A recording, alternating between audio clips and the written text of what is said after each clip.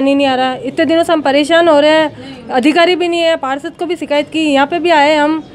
पहले एक दिन छोड़ के अब चार चार दिनों से भी पानी नहीं आ रहा। हम पानी से बहुत ज़्यादा परेशान है। बिना मशीन के बिना पानी एक बूंद पानी नहीं आ रहा नल में हमारे। हम यहाँ जल विभाग में आए हैं। कोई नहीं मिल रहा हमें यहाँ पे। कोई मिला कोई आपको? नहीं मिला है यहाँ पे। क्या समय हो गया? अभी ग्यारह बजने वाला है। हम घर के सारे ऐसे काम वाम छोड़ के आए हैं। बताओ। इतने परेशान हम के पानी के पीछे चक्कर लगे। हम के के कोलान पोल्ट्री फार्म के पास अपना। मेरा नाम भगवती। क्या जी। जी भैया क्या समस्या हो रही है? हमारे यहाँ पे काफ़ी टाइम से पानी की समस्या हो रही है। हम पार्षद जी के पास भी कई बार जा चुके हैं लेकिन वो भी सुनाई नहीं करते हैं।